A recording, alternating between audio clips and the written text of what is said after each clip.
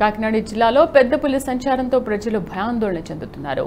పెద్ద పులిని బంధించేందుకు అధికారులు తీవ్ర ప్రయత్నాలు చేస్తున్నారు. అయితే పులి ఇంకా సంచరిస్తోందా అడవిలోకి వెళ్ళిపోయిందా అని అధికారులు పరిశీలిస్తున్నారు.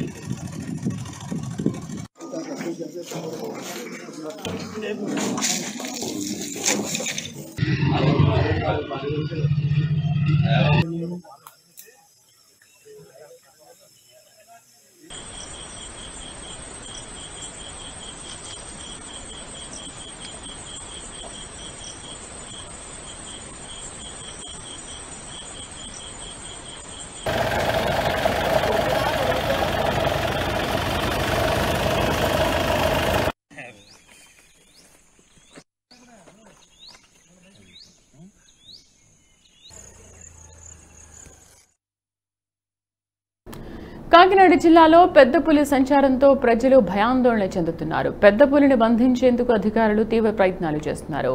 అయితే పులి ఇంకా సంచరిస్తోందా అడవిలోకి వెళ్ళిపోయిందని అని అధికారులు పరిశీలిస్తున్నారు.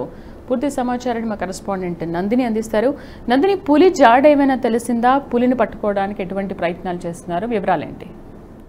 జిల్లాలో స్థానికులను పులి భయం పట్టుకుంది. ప్రతిరోజు నిత్యం ఏదో ఒక ప్రాంతంలో దాని దిశ మార్చుకొని అయితే పులి సంచరిస్తూ ప్రజల్ని భయభ్రాంతులను చేస్తుందని చెప్పుకోవచ్చు తాజాగా, పాదాలు అలాగే గస్ట్ గెస్ట్ హౌస్లో ఉన్న గేదెల మీద దాడి చేసిందో దాని తర్వాత రెండు రోజులైతే ఆ పులి ఆచూకీ అయితే లేదు. అయితే వాగు దాటి అడవిలోకి వెళ్ళిపోయిందని అనుకున్నారు. కానీ మళ్ళీ తాజాగా మనం చూసుకున్నట్లయితే రాత్రి తొమ్మిది గంటల ముప్పై నిమిషాలు ప్రాంతాలు శంఖవరం మండలం అంటే ఇదంతా కూడా ప్రత్తిపాడే.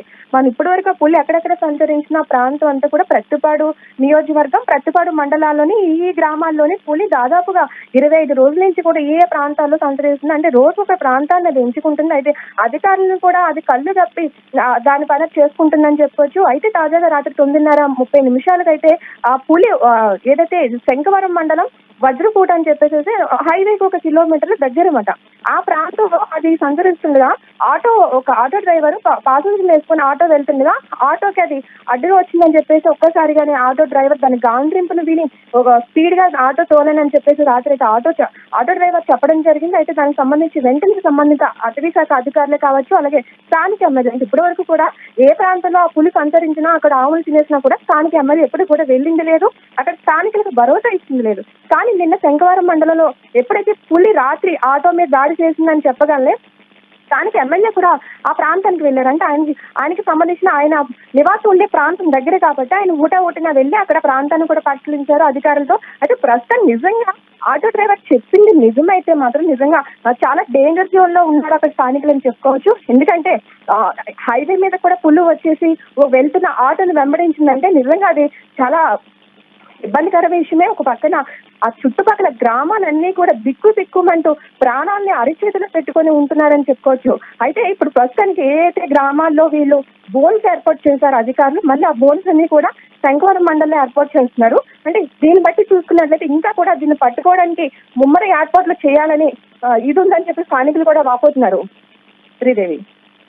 ద్వారా ఏమైనా ఆచూకీ లభ్యమవుతుందా అని అటవీ శాఖ అధికారులు ప్రయత్నం చేస్తున్నారా? ప్రస్తుతానికి మొత్తం టీం అంతా వీళ్ళు ఏదైతే చెప్తున్నారో నూట ఇరవై మంది టీం ఉన్నాము. ఐదు టీంల కింద మేము దాన్ని అది ఎక్కడుందో దాన్ని వెతుకులాట్ చేస్తున్నాం అని చెప్తున్నారు కానీ వాస్తవంగా చెప్పాలంటే మొత్తం టీం అంతా కలుపుకుంటే ఇరవై మంది కూడా ఉండరు. కానీ స్టార్టింగ్లో చేసిన హడావడి కూడా ఇప్పుడు ఎందుకు చేయట్లేదు? దాన్ని బంధించడానికి ఎందుకు అధికారులు వెనకంజి చేస్తున్నారు అనే పలు అనుమానాలు కూడా వ్యక్తం అవుతున్నాయి థ్యాంక్ యూ